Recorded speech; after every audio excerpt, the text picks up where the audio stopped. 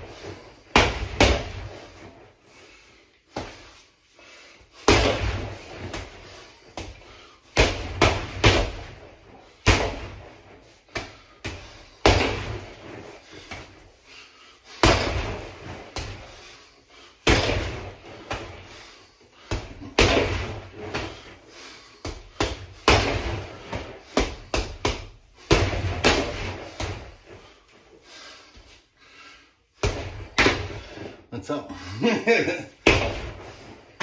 do I look? All right.